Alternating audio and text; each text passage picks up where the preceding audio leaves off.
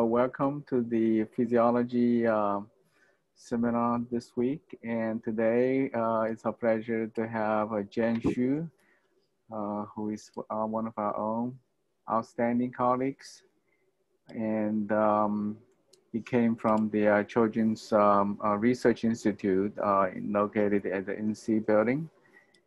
And um, Jen um, received his bachelor's degree from Fudan University and then his master's degree also from Fudan University um, in 2003.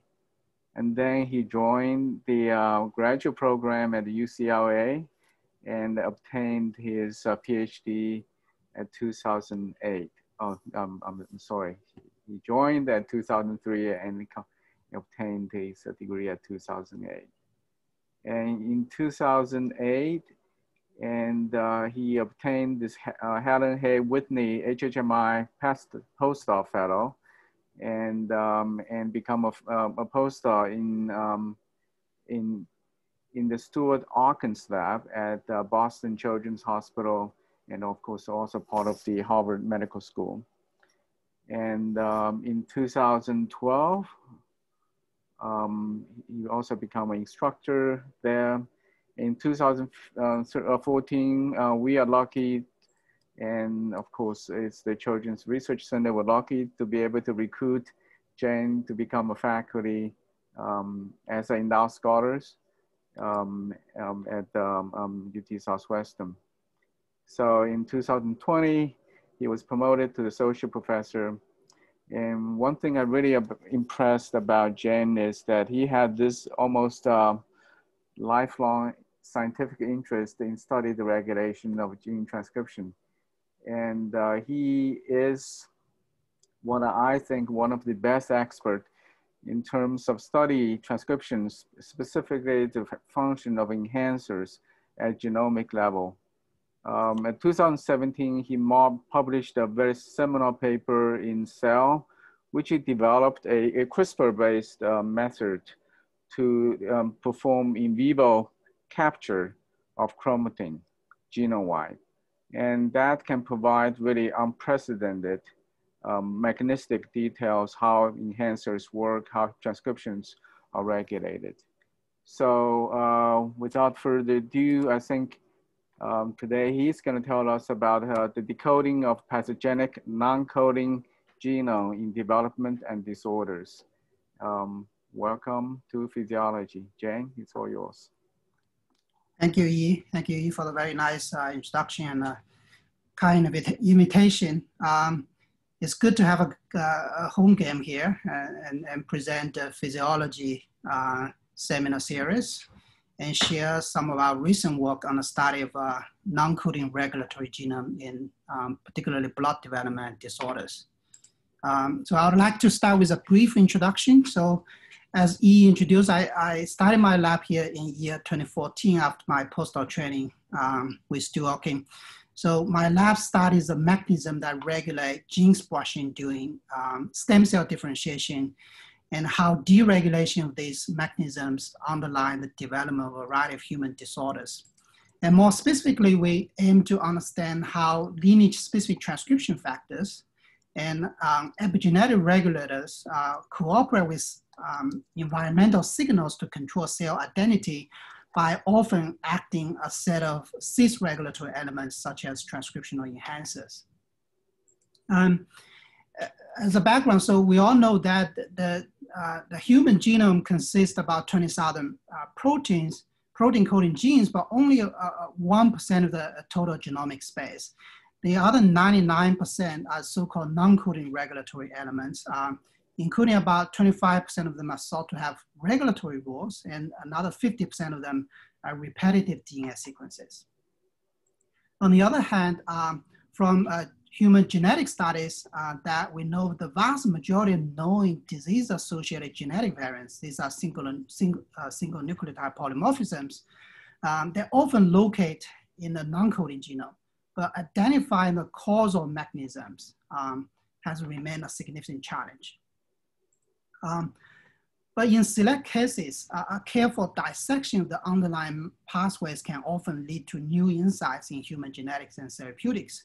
So for example, by associating common genetic variation uh, with specific uh, phenotypes, such as uh, blood traits or fetal hemoglobin levels, or the severity of sickle cell disease, uh, a monogenic uh, anemia disorder, a gene called BCL11A was discovered now more than 10 years ago.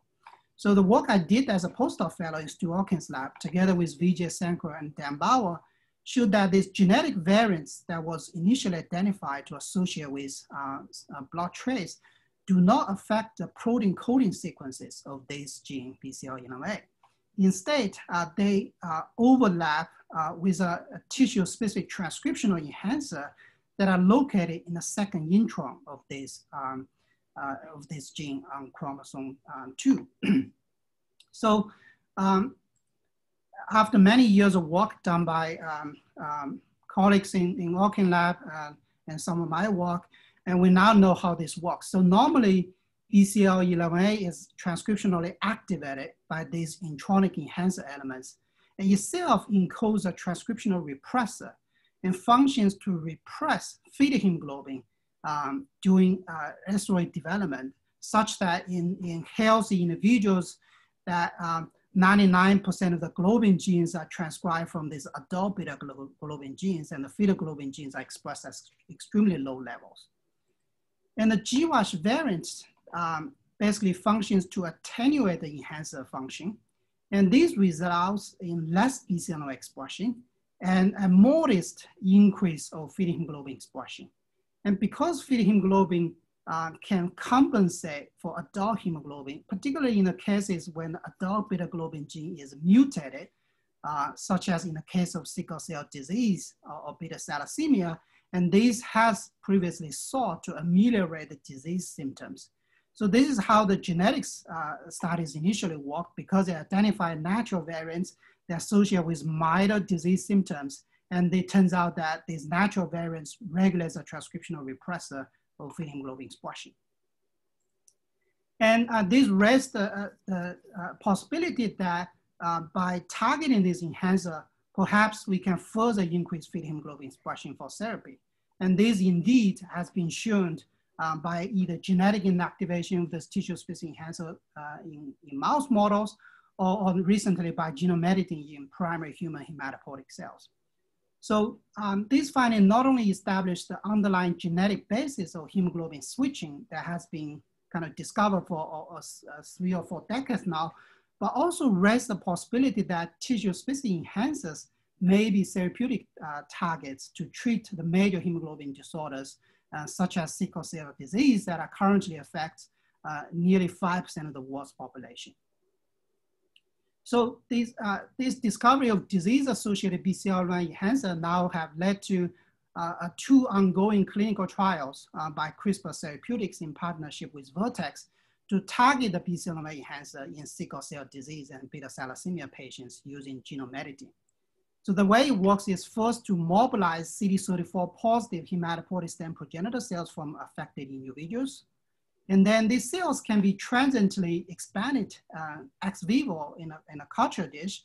And while they're doing so, they transduce the cell with ribonucleic proteins containing Cas9 nucleus with a single guide RNA targeting the BCL11A enhancer that we discovered.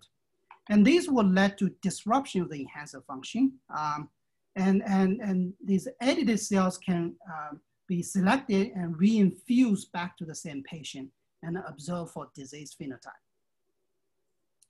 And the results of the first two patients that were recently, uh, uh, that has been treated, uh, were recently reported in the New England Journal of Medicine paper, uh, end of last year, together with another report uh, using shRNA-based gene, uh, gene therapy approach to inactivate BCL11A, kind of the traditional way of doing this and also published in a back-to-back paper in New, England Journal of Medicine.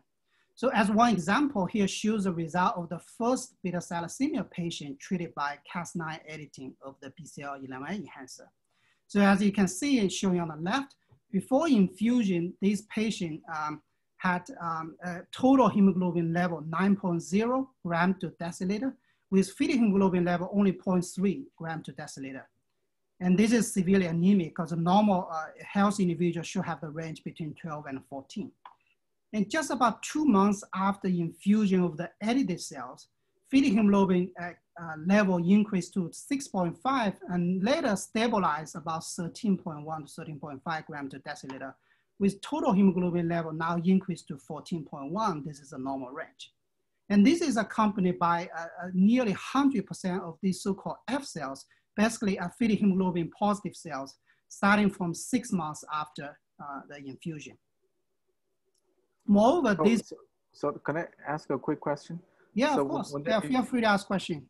When they infuse this back to the patient, how, how high is the efficiency of the uh, um, editing? Yeah, so uh, in the initial report, um, they um, they work out a pretty good protocol to deliver Cas9 ribonucleoproteins, and they can get a total editing efficiency about 85, uh, in some cases achieving 95. And the question is uh, how many uh, heterozygotes, how many homozygous. But if they are achieving 95% editing efficiency, I would think that a majority of those cells are homozygously edited.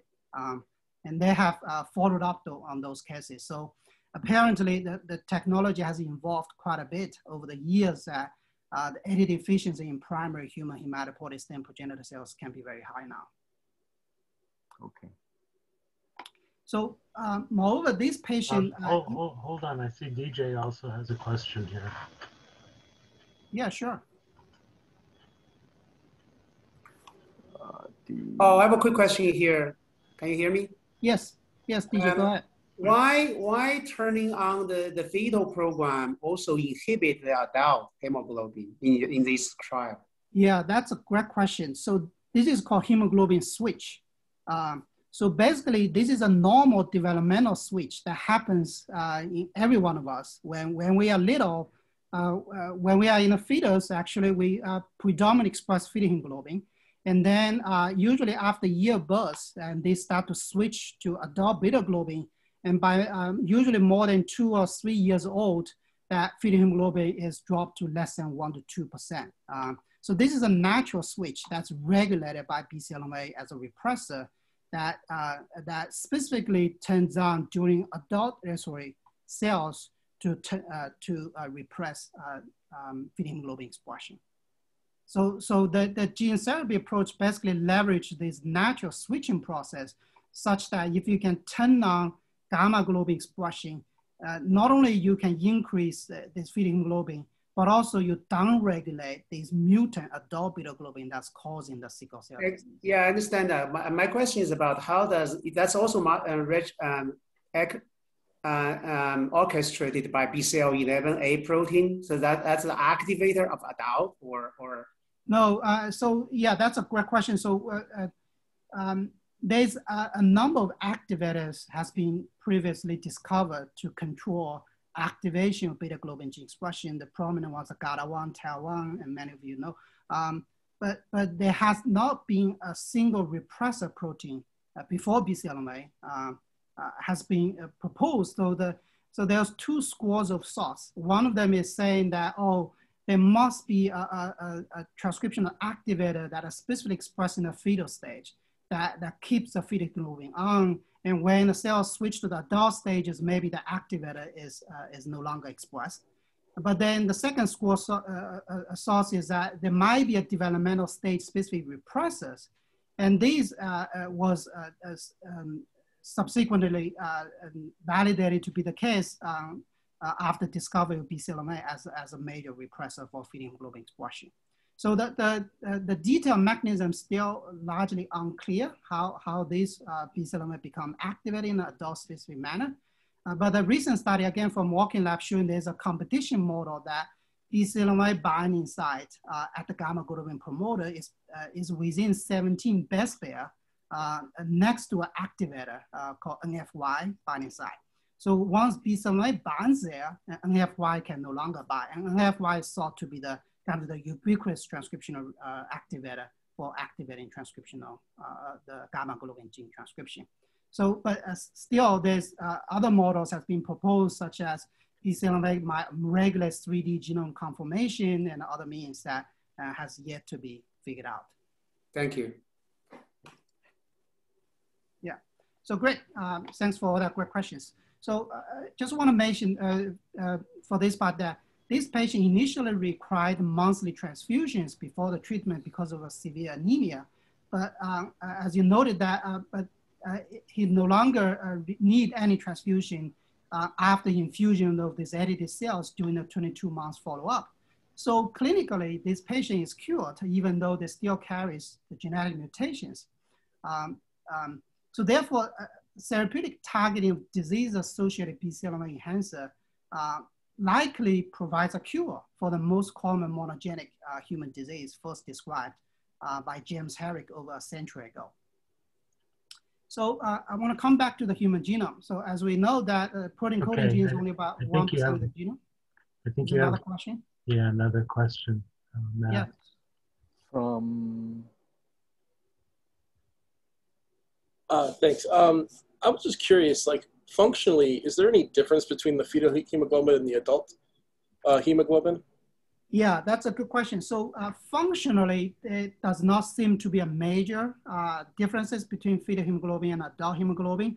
Although uh, biophysically, it has been noted that uh, fetal hemoglobin have slightly higher oxygen affinity compared to adult globin. And it has been thought that because during fetal development, the fetus need to absorb uh, the oxygen from, from, uh, from maternal uh, during, during development and the slightly higher oxygen affinity might help kind of the oxygen exchange in placenta. But there's genetic um, deletions of adult beta globins uh, in certain uh, uh, females, in women actually, that still can give birth to healthy babies. Um, so looks like this, this evolutionary selection of high, slightly higher oxygen affinity form of fetal hemoglobin uh, at least did not seem to affect uh, uh, fetal development in those rare cases of adult globin deletions. Well, I mean, I guess the, what I find interesting is that the system evolved to make this transition between the fetal hemoglobin and the adult hemoglobin. Mm-hmm. And mm-hmm. so I'm just wondering, like, in a situation where, say, like the example you gave, where the adult hemoglobin um, is lost, um, are these individuals more susceptible to hypoxia? Do they have do have compromised ability to to survive at high altitude, or is there anything? I, I guess like under steady state conditions, there may not be an obvious difference, but when right. you start start pushing the system, maybe that's where the big differences come out. Right. Yeah.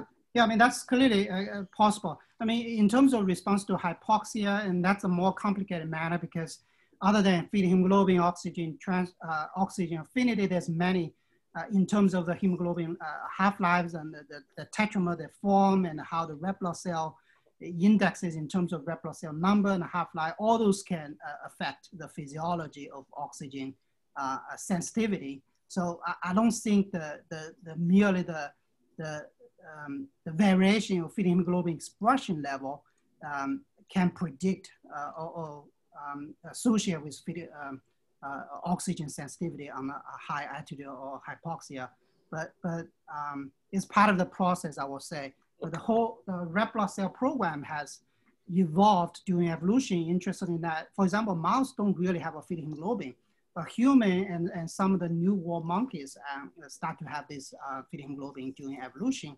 The thought process was that uh, those uh, primates have longer gestation and perhaps um, having fetal hemoglobin will, will be advantageous for, for these species to, to evolve, um, but some of those lower species don't seem to. But this is just a theory. I think, I think we probably should move on. Yeah. Cool. Thanks. Yeah, great. Thank you. Yeah, this is a great discussion. Thank you so much.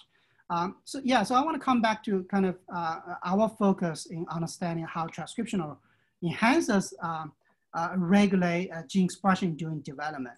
So first of all, uh, what are enhancers? So enhancer was first discovered 40 years ago by these uh, gentlemen as a short DNA sequences, actually in a viral genome, SV40, uh, that can enhance expression of uh, a transient, interesting beta globin at that time they used uh, in a transient transfection assay uh, in an orientation independent manner, uh, as they initially showed. And then a couple years later, the first cellular enhancer was cloned from a mouse immunoglobulin heavy chain gene uh, that was also shown to activate gene transcription in a tissue-specific manner. So therefore, even from the very early days, enhancers are defined as cis-acting DNA sequences that can function at a distance to activate gene transcription in an orientation independent and tissue specific manner. And because of these unique features, it has been difficult to study enhancers. And it's still difficult to identify enhancer target genes because they can often locate far, far away from the gene they regulate. And, and uh, their in vivo function are largely unknown uh, and largely due to the lack of experimental tools to study them. So uh, with advances of uh, next-gen sequencing uh, coupled with analysis of various chromatin features, we can now easily annotate uh, most of the non-coding genome using a number of methods such as chip sequencing to examine protein DNA interactions at the genome-wide scale, ATAC sequencing or DNASE-1 hypersensitivity assay to examine chromatin accessibility as a surrogate for active transcription, as well as chromatin conformation capture of, uh, of 3C or Hi-C method to examine high order chromatin structures.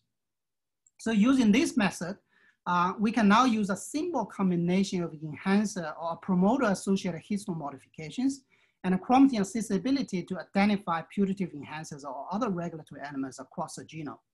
So again, uh, using our Ferro-locus human, human beta globin gene cluster as example, here using a simple combination of DNASE-1 hypersensitivity mapping, now you can use ATAC-C very easily. Uh, H3K27 acetylation, monomer K4 uh, chip sequencing, you can easily identify uh, the individual enhancer element uh, at the upstream locus control region or LCR that control uh, the, uh, um, the developmental switching of these five uh, beta-like globin genes. As you might notice that active promoters have trimethylation K4, I'm not showing here the uh, repressed promoters often have trimethylation K27. So using this method, uh, we previously compared the enhancer landscape between human uh, primary hematopoietic stem progenitor cells uh, or HSPCs that are originated from fetal cells or adult cells versus lineage commit, committed erythroid precursors called PRO-Es. And it's quite uh, striking that just within a few cell divisions as the cells make lineage decisions, uh, there is massive turnover enhancer such that two thirds of the enhancer that you normally see in, in stem progenitor cells are lost and replaced by erythroid specific enhancers uh, just in, uh, in matter cell uh, divisions. And this strongly suggests that there's a pervasive enhancer turnover during lineage differentiation uh, of these hematopoietic stem progenitor cells and perhaps uh, most of the somatic cells. And we use this as a kind of a test bed to study enhancer function and learn quite a, a few interesting features. Uh, the one is that enhancer function can of, uh, often cannot be reliably predicted based on only chromatin features. Other important features such as transcription factor binding and a, a 3D uh, chromatin interactions are, are critical for uh, predicting enhancer function. And this really highlights that studying enhancer regulation really requires understanding its regulation in this native chromatin environment, uh, ideally in situ, uh, in vivo. And this led us uh, to address two uh, uh, important questions that um, in the field. That is, how are enhancers organized and regulated in this native chromatin environment?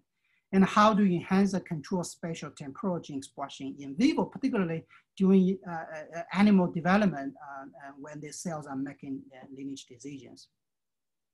So in an attempt to address the first question, um, so we recently engineered an in situ capture assay to identify enhancer regulating chromatin interactions by repurposing the CRISPR-Cas9 technology.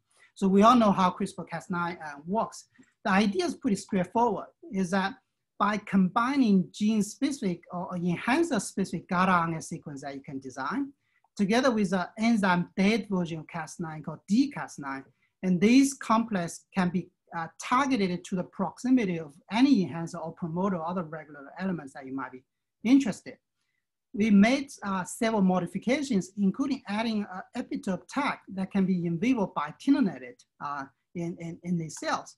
And then um, by uh, high affinity scribavidin uh, biotin uh, affinity purification, we can capture the, the enhancers and all the associated molecular interactions to systematically dissect the enhancer associated proteins using, for example, downstream uh, um, mass spec analysis, uh, enhancer associated RNAs using uh, RNA-seq and enhancer uh, associated 3D chromatin interactions using long-range um, 3C-based technologies. So the, the main advantage of this system is number one, allow us to capture chromatin interactions in, in native chromatin context without any perturbation. And this is not dependent on predefined factors, unlike chip sequencing or, or, or other method that you will need a high quality antibody to pull down the factor that you might be interested. Here, since we are pulling down the, uh, the DNA based on uh, GATA RNA targeting, so that uh, we don't actually need to know what are the protein factors that, that are associated with a, a complex that you, might be interested.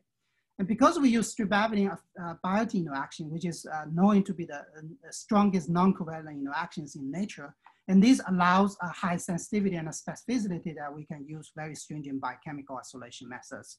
And because we use GATA RNA for targeting, and this allows multiplex capture of many enhancer, in our recent study, we can capture up to almost 2,000 enhancer in a single experiment. And this should be uh, generally applicable to, to any genomic loci or other model systems. So, so uh, to address the second question, how do we enhance the control spatial temporal gene expression, and particularly during in vivo development?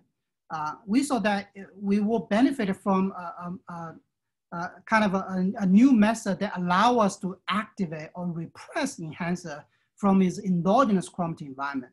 So we have thought about the CRISPR-Cas9 again, and this is uh, often known as CRISPR-A and CRISPR-I. But in our hands, CRISPR-A, CRISPR-I, the original CRISPR-A and CRISPR-I does not work very well for enhancers, largely because uh, uh, it was designed based on the principle of prom, uh, promoter-associated chromatin features. So we sought to involve this system by considering the, the enhancer-associated histone modifications, particularly uh, histone acetylation, K27, uh, acetylation and histone methylation uh, that can be modulated by different epigenetic regulators. So we came up with what we call enhancer targeting CRISPR-A or CRISPR-I, uh, such that um, um, for, for enhancer activation, we fuse DCAS9 protein with the activated domain P300, which is known to acetylate histone uh, H3K27. And we then engineered a, a, a sgRNA with a MS2 hairpins uh, which can be uh, recognized by RNA binding domain called MCP. And then we can fuse this MCP RNA binding domain with another activator uh, called VP64 to assemble these uh, enhancer activating uh, systems. Similar idea for enhancer repression, such that we use LSD1, which is a histone demethylase, to remove uh, monomethyl K4, which is another active hallmark of active enhancers. And we use MCP and MS2 to recruit KRAP. So, so the, I, the idea is that uh, basically we incorporate uh, multiple independent activating or repression mechanisms using this uh, DCAS9 scaffold to kind of maximize the activation or repression activity. So um, we use this system in a variety of cell models. Uh, I won't show the data um, and, and, show that the new system indeed are, are superior than the original CRISPR-I and CRISPR system for enhancer perturbations. However, the main challenge is analysis of enhancer function during in vivo development. Uh, so we went ahead generate a knocking mouse model containing a, inducible DCAS9 KRAP, uh, chimeric gene uh, knocking to the uh, college 101 locus, and then use a GATA RNA construct that containing this MS2 and a fusion protein with LSD1, you can assemble this uh, CRISPR-I system in, in, in primary cells in vivo. So with this system, we thought that now we have a tool that we can perturb enhancer function during in vivo development, and, and particularly using hematopoietic uh, uh, uh, differentiation as a model. So we reason that um, by, for example, uh, repression uh, uh, lineage-specific enhancer in hematopoietic stem progenitor cells, followed by bone marrow transplant, we could assay these donor-derived mature cell lineages, such as myeloid cells, B cells, and T cells, as a functional readout of whether or not repression of those enhancers in the stem cells affect lineage decision uh, later on. And the readout is basically isolate uh, a genomic DNA uh, of these mature cells and compare with the starting cells before transplantation and perform amplicon sequencing to uh, uh, uh, identify sgRNA that are enriched or dropped out uh, in this uh, differentiation scheme. So as a proof of principle, we started with some knowing transcription factors and their enhancers for this in vivo enhancer perturbation screens. So here I'm showing one piece of data as a one example. And this is a, data for the uh, CBBR1 uh, gene. This gene has a, a annotated four uh, independent enhancer element look at different locations of this uh, uh, transcription start site. And, and interestingly, by this in vivo perturbation, we find two of these enhancers and their corresponding RNAs, uh, guide RNAs are significantly depleted in myeloid cells, but not in B and T cells. So this means that repression of these two enhancers can significantly impair myeloid cell differentiation, uh, resulting in a depletion of these corresponding guide RNAs uh, in those mature myeloid cells.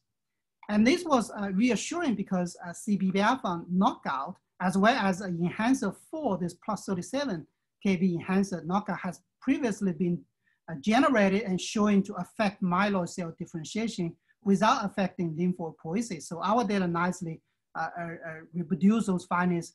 Uh, we also show that this E2 enhancer is also important for myeloid cell differentiation, but not for the other two lineages. But none of the other two enhancers seems to be important.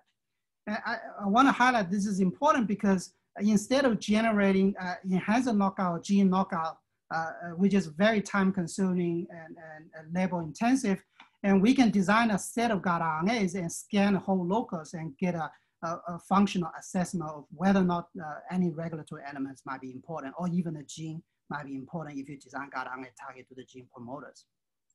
So along this idea, uh, we performed a, multiplex enhancer perturbation by uh, pooling guide RNA for 60 different enhancers. So here's about 200 guide RNAs in this uh, in vivo experiment. So in a single experiment, you can identify systematically what are the enhancer genes that are specifically required for myeloid cell differentiation, B cell differentiation, T cells, etc. Often you're gonna see there's enhancers that are particularly important for myeloid, but not for B and T cells.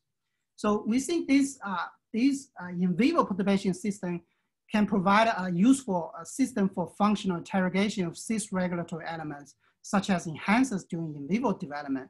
And moreover, by combining this uh, knock-in mouse model with other disease models, for example, uh, uh, uh leukemia models, we can study enhancer function during different pathological processes. So as a brief summary. yeah, go yes, ahead. Go is there another question? Yeah, can you go back one? Yeah. Yeah, sure.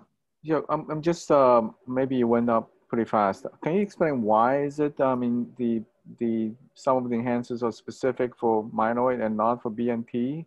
How does, I mean? Yeah, I mean, that's very, uh, this is, this is one of the, uh, I would say, fundamental challenges in studying non-coding regulatory elements. Um, is that uh, the sequence or the chromatin feature does not predict whether or not that enhancer is gonna be important. And even is important, does not predict what cell lineage and, and developmental stage might be important.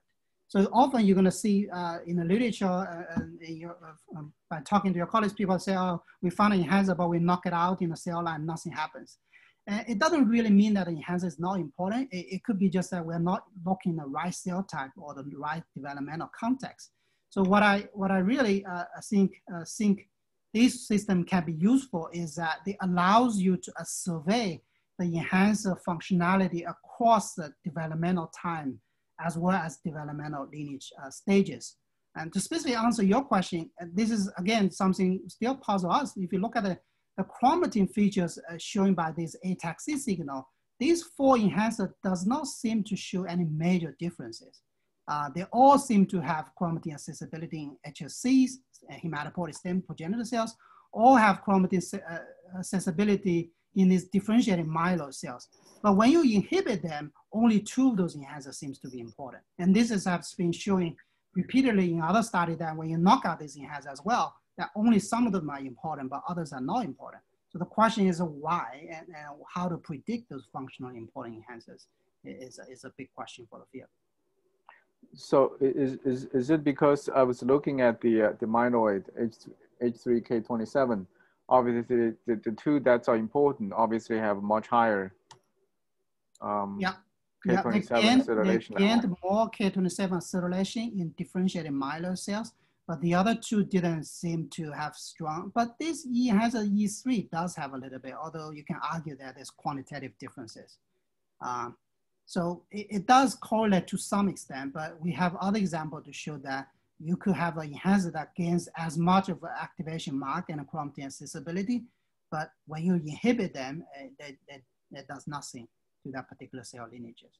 Whether this is just not sufficient uh, or whether this is a, a, so an, an, another related question is what makes this change i mean change the enhancer i mean look like i mean at least for two of them the enhancer function completely disappeared in the b and t cells mm -hmm. yeah so you can kind of get a hint, hint from this uh, k27 acetylation chromatin accessibility data as well so these enhancers are marked with these activation marks in hematopoietic stem cells. But uh, in myeloid cells, you will see this mark, some of those marks uh, are, are, maintained or even increased. Um, but in T and B cells, those marks are completely absent.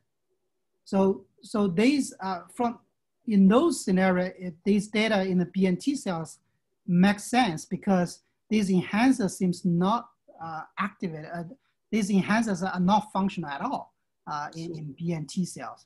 Um, but as, I guess your question is, you know, what determines whether the enhancer is going to be activated in myeloid cells versus B and T cells?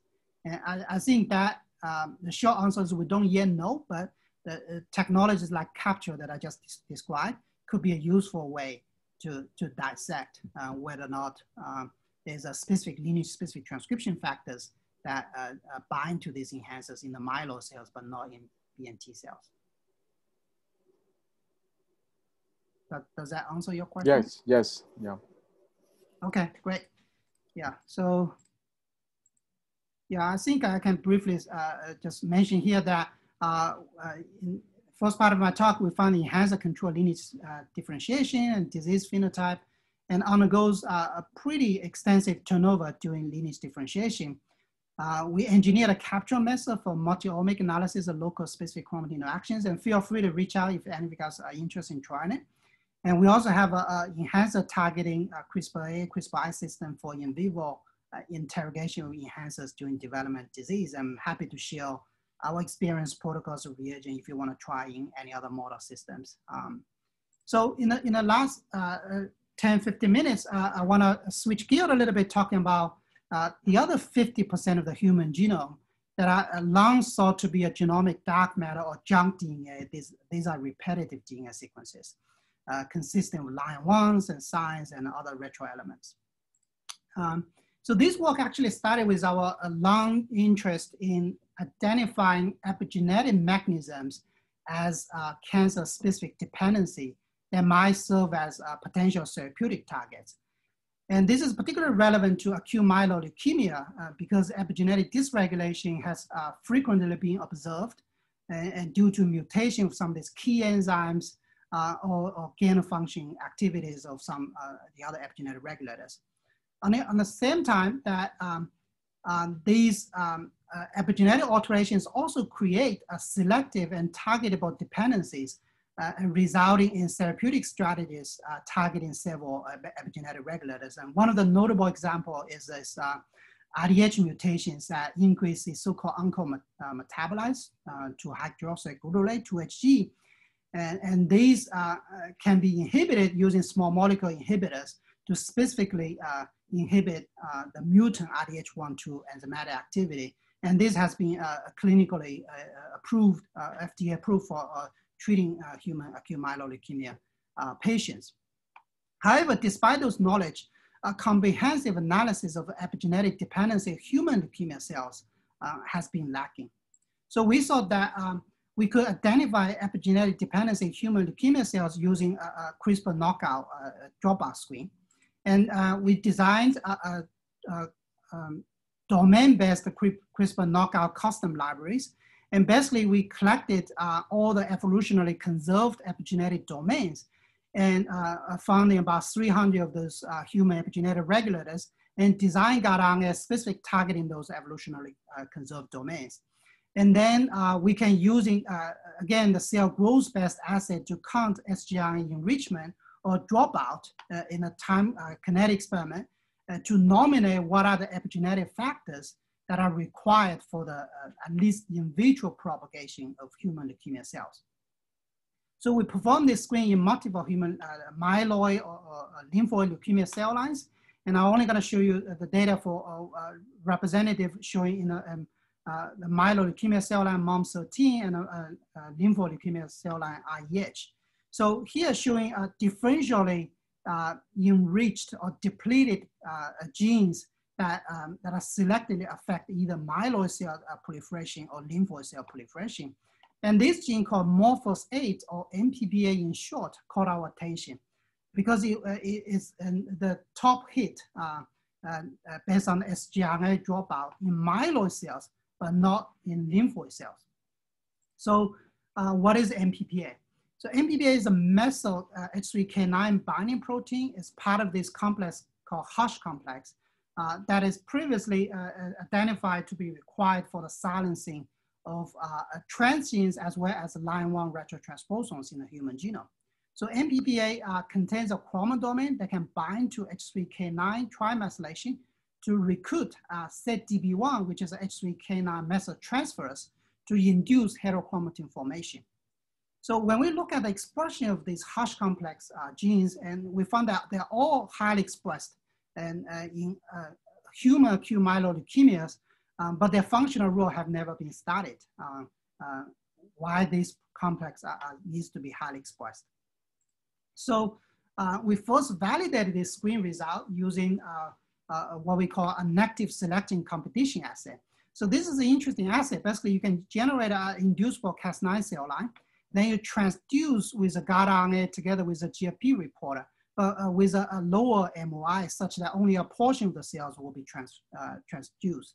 And then you will uh, induce Cas9 expression, and the GATA RNA will uh, target to the specific gene that you might be interested in, in this case, MPPA. So the idea is that if knockout of MPPA by this GATA RNA targeting impairs cell proliferation or fitness uh, during propagation, this will lead to progressive loss of GFP positive cells, uh, these GATA expression cells over, over time course. So we use this assay quite a bit. Um, um, and in this case, uh, nicely using four independent GATA RNAs to validate that MPP knockout indeed impairs cell proliferation uh, in vitro.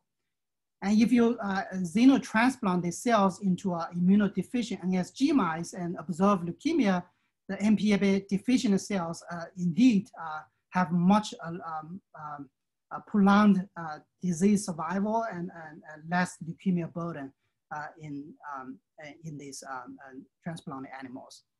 So this validates the initial study from CRISPR knockout. So further, we use a, a, domain screening. So in this case, we design GATA targeting individual domains across uh, the uh, coding sequence and found that really the chromodomain uh, targeting leads the most profound um, effect in terms of uh, cell viability. And more importantly, we can perform a functional rescue experiment. So in this experiment, we could deplete endogenous MPPA gene uh, using uh, uh, shRNA targeting the 3' UTR. And then you can rescue with either a wild type or, the, or different domain mutant form of MPPA cDNAs. And we found that a wild type, uh, uh, type MPPA can uh, certainly rescue the uh, uh, cell growth phenotype, um, and, but the chromodomain deficient MPPA can no longer rescue, but the other domain mutant doesn't seem to be important. So all this says is that this uh, H3K9 binding activity of MPPA seems to be critical uh, for MPPA cell proliferation, uh, for um, AML cell proliferation. So based on those results, uh, we went ahead generated a, knockout mouse model um, by using a, a pair of GATA targeting this uh, uh, chromodomain including exon 2 MPPA, and uh, we can generate either whole body homozygous knockout or, or, conditional knockout. So it turns out the whole body uh, uh, homozygous knockout resulting uh, less than a Mendelian ratio of uh, POPs suggestion that MPPA is required to some extent for early embryonic development. But those survived animals actually, despite they have reduced body size and weight, and they have normal hematopoiesis and we also perform a bone marrow transplantation to assess the HSC function, did not notice any effect on HSC function. So suggestion that MPPA does not seem to be required for normal hematopoiesis, although it might play an important role in early embryonic development. So now we can determine uh, using these models, uh, mouse models, the in vivo role of MPPA uh, in leukemia development. So we use uh, two well-established murine AML models uh, that uh, recapitulate human AML containing fusion oncogene uh, RUNX1 or AE9A in short, or MLF9. So, so basically what the data shows is that um, the knock, MPBA knockout cells uh, result in significantly decreased leukemia burden in peripheral blood, bone marrow, and spleen, and fail to induce uh, lethal leukemia in the majority of the mice in both uh, AE9A or MPBA uh, uh, uh, models. Similarly, uh, we can use a conditional knockout mouse by hematopoiesis uh, specific but inducible CRE that can be induced by PIPC injection uh, to determine whether or not MPBA is also required for the maintenance of already developed leukemia. So the way you do it, you isolate uh, hematopoietic stem progenitor cell, transform with these oncogenes, then transplant in recipient animal. But this time, you actually late, uh, wait until the animal develops signs of acute myeloid leukemia by measuring 10% uh, or more of, of GFP positive uh, leukemia blast in the peripheral blood. And then you inject with PIPC to induce MPPA uh, uh, knockout in these animals to, to determine what's the effect on leukemia propagation. And this data again shows that MPPA is uh, required for the maintenance of already established leukemia. So therefore, even MPPA is dispensable for normal hematopoiesis, inactivation of MPPA seems to be incompatible with uh, both initiation and maintenance of myeloid leukemia in vivo. So of course, we want to know what are the underlying mechanisms. So we examine gene expression by RNA-seq. And, and we were very surprised to see that um, among the most upregulated genes, uh, many of them are annotated uh, line one retrotransposons, uh, especially these uh, young, uh, evolutionarily young line ones, such as the human specific line one called L1HS family. Uh, uh, specifically upregulated upon MPBA knockout in, in human and mouse leukemia cells. And furthermore, we can perform a chip sequencing of uh, three different antibodies for MPBA, and all showing that uh, MPBA are highly enriched in these human-specific uh, line one elements, uh, and as well as uh, you also see some signal in other line one subfamilies, but particularly human-specific line one have the strongest signals. So these let us um, Let me interrupt. Are, are those yeah, yeah, sure. one elements are heavily marked by H3K9 trimethylation? Yeah, so this actually, I may, uh, I didn't mention that. So H3K9 okay. methylation is also highly enriched over there. Yeah, so it goes along so, uh, very so well with the K9 in, the in in the mutants in the uh, mutants, do you lost those? Yeah, what, that's what happens? Yeah, it's a good question. So if you do uh, um, acute deletion, and this is what we did, because uh, the cell will die over time. Uh, you can, I mean, if you have a, a wait long enough, you're gonna see all the indirect effects. So if you look at the early deletion, you don't see major changes in H3K9 trimethylation. This makes sense because this is a reader protein and that binds to K9 and recruits ZDB1, which is a K9 methyltransferase. But we did notice that if you actually propagate the cells long enough before they crash out, you do see a, a reduced H3K9 methylation. And this suggests that the, the MPBA mediated propagation of this heterochromatin um, and, and can also play an important role. Uh, maybe so, doing some this in vivo experiment. I'm, I'm, a little bit, uh, yeah. So when you have this up-regulation of expression of those 9-1 elements, is that because of the loss or it's because of loss of propagation of T3K9 methylation or is some other?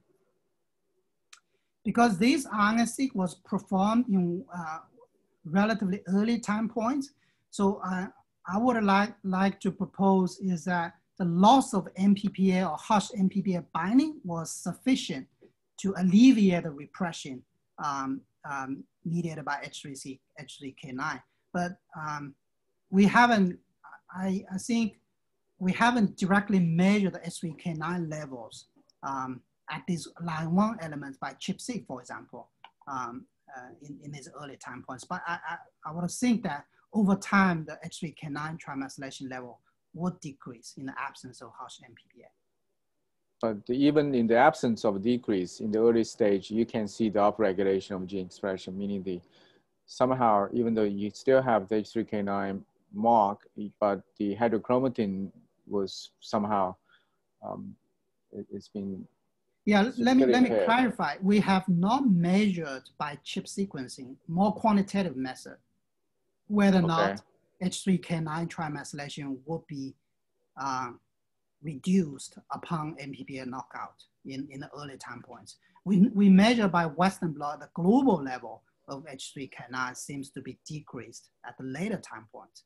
But, but in the early time points, we did not see changes in the global level of H3K9. But doesn't mean that the H3K9 level uh, are still the same um, um, at the line one elements. And that, yeah, that's a, that's a good question that, that uh, might help us to understand how line one is regulated.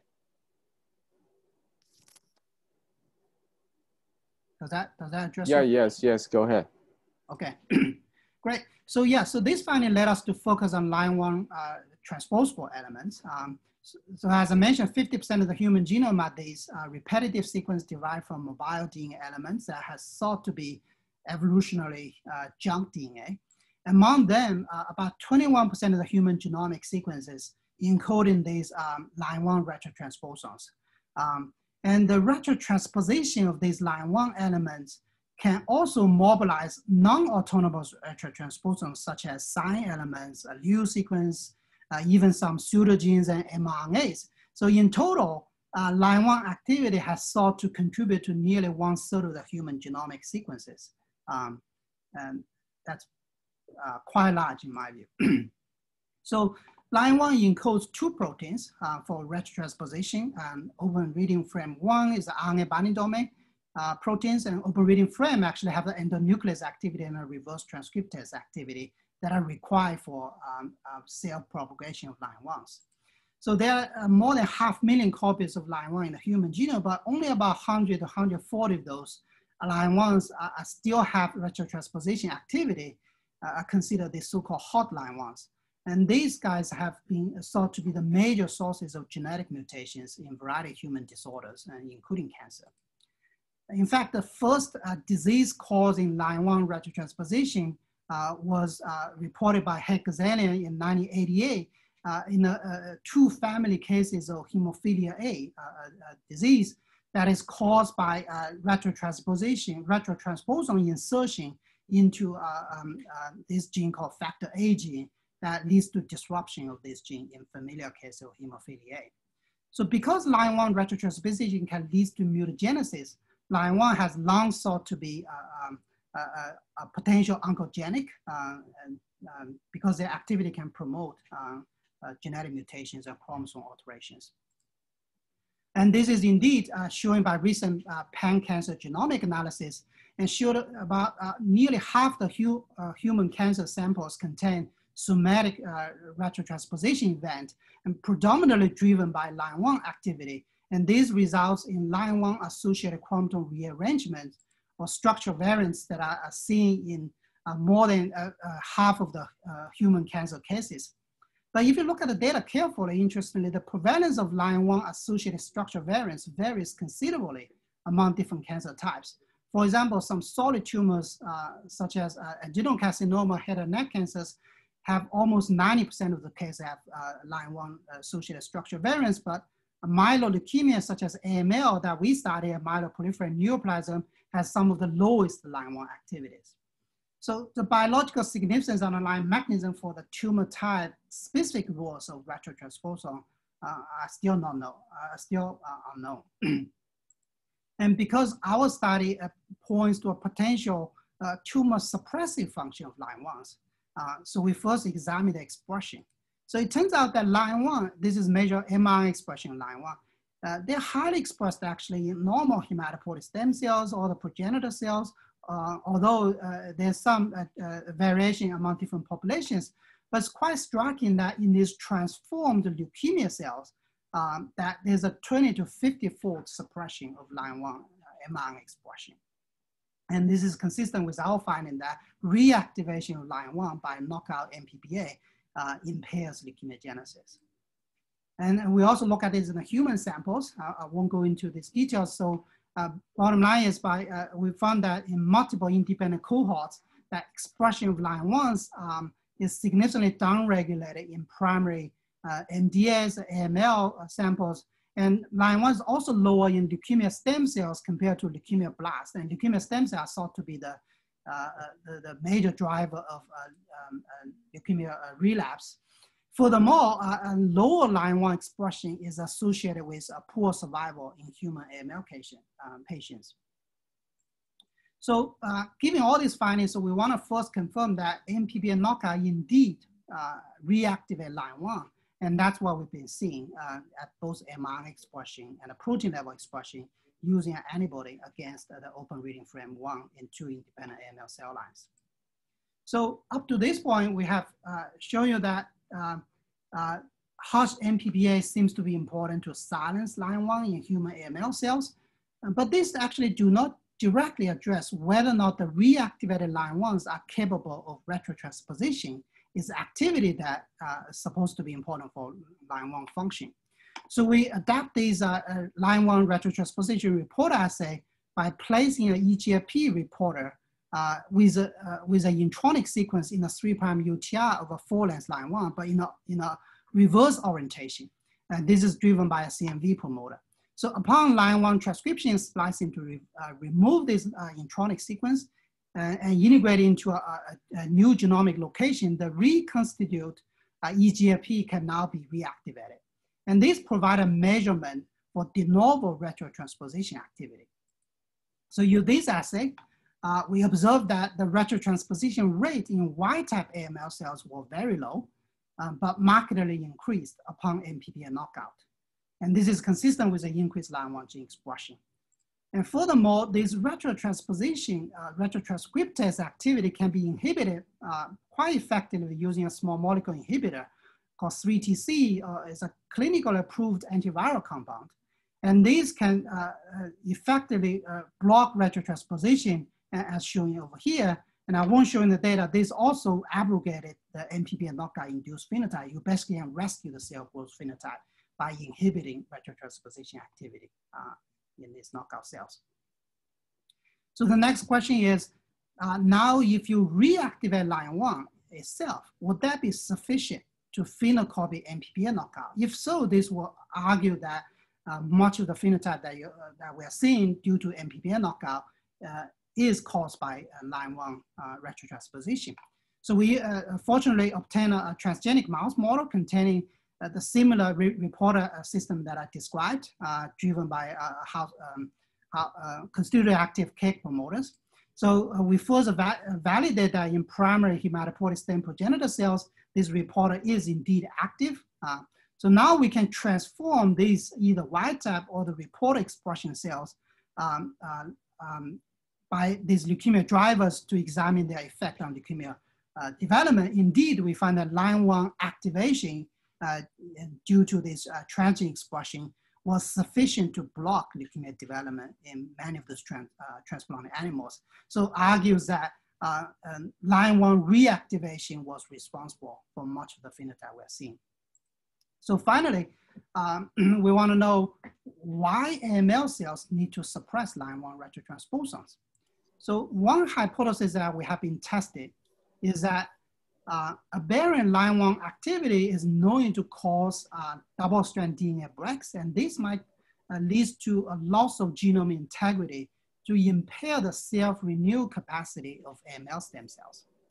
So to test this, uh, we uh, use gamma H2AX as a surrogate for double-strand DNA break uh, damage. And indeed, there was a, a, quite significant increase of gamma H2AX foci in the MPB knockout cells, which can be abrogated by this small molecule inhibition. And this is also accompanied by increase of P53 and P21 expression, this so-called the sensors for DNA damage response.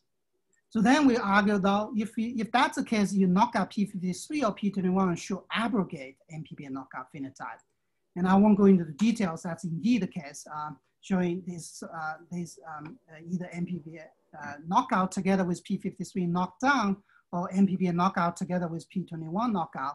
In both cases, that knockout of these DNA uh, damage sensors could uh, restore leukemia development.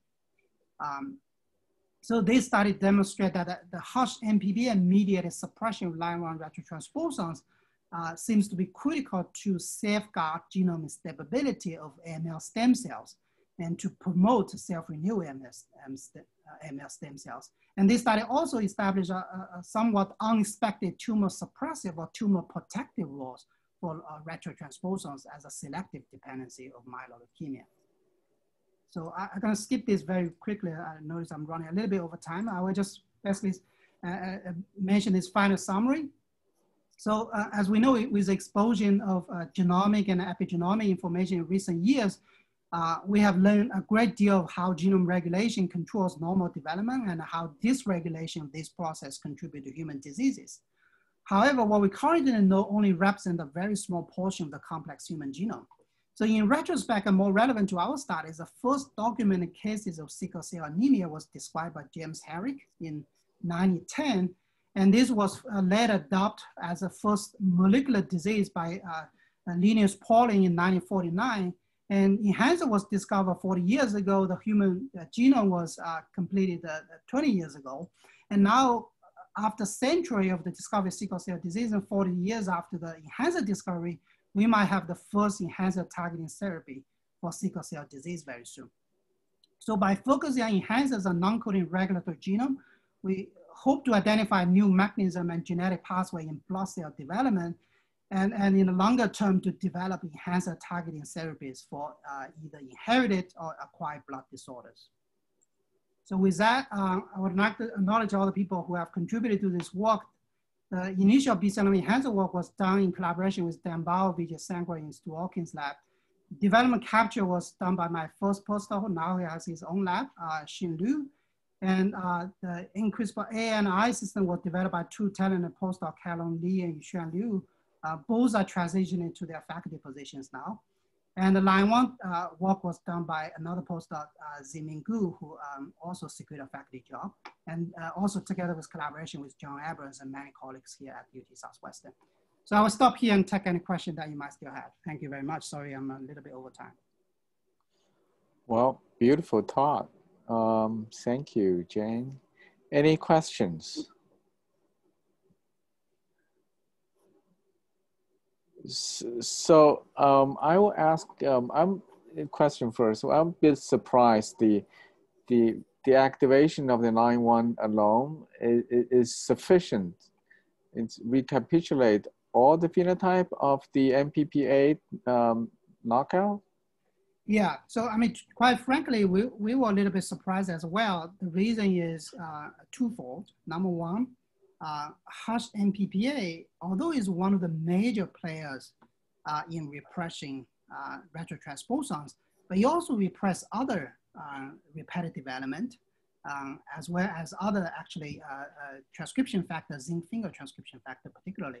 So we wasn't quite sure whether line one reactivation was, was what it really does um, in terms of um, uh, suppression is, um, is activity in acute myeloid leukemia. The second is that, uh, as you know, um, there's many copies of line ones, uh, half million copies, although only about a hundred or so those are active. So we also not quite sure whether or not just overexpressing a single copy of line one will be sufficient to cause a phenotype.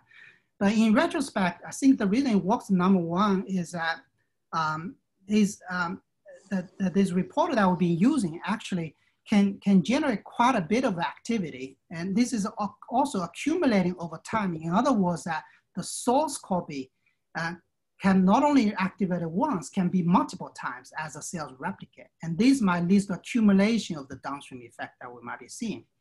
And the transgenic mouse that we have used has a housekeeping promoter that activating pretty much um, uh, all cells and we measure the expression is pretty high in, in, in the primary cells. So all these con consider, I think, uh, much of the effect that we're seeing um, due to MPPA loss uh, likely uh, were recapitulated by high copy number uh, uh, activation or activation many copies of line one retrotransposons using our reporter assays, uh, the transgenic mice. Okay, thank you. DJ, you have a question? Yeah, um, I have a question about the uh, first part of the talk. Mm-hmm. And the, uh, maybe a technical uh, question about this enhancer CRISPR-I and enhancer CRISPR-A. Mm-hmm. So, so the, my understanding of your design is such that um, you are basically using a guide RNA, right, to target uh, either transcription activator or repressor to a particular sequence. Mm-hmm. So, so if that is true, then it really does not matter, right, whether you need to know the information about, you know, what the, this particular um, sequence is an enhancer or is, or is not an enhancer because you are basically doing a additive experiment, right? Mm-hmm. So Epigenetic additive. As long as you, you, you insert a repressor to somewhere in the genome, uh, I mean, around that gene, uh, the locus or, or activator around that locus, you will either inhibit or activate the transcription. So, so I'm trying to, um, I mean. Well, yeah, so the question is. Um, that can give you the information about the, the particular enhancer sequence, right?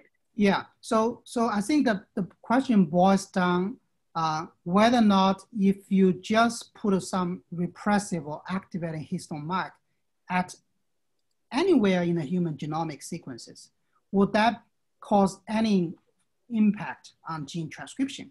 Yes. Um, the answer is likely no, that we know it that um, only a, a, a, small portion of the human genomic squares have this re regulatory potential.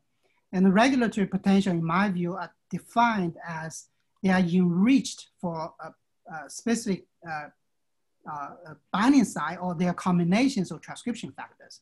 So, so opening up those chromatin, uh, uh um, uh, these uh, DNA sequences by open chromatin structures would facilitate transcription factor binding and, and subsequent recruiting co-activators and, and leads to transcriptional activation.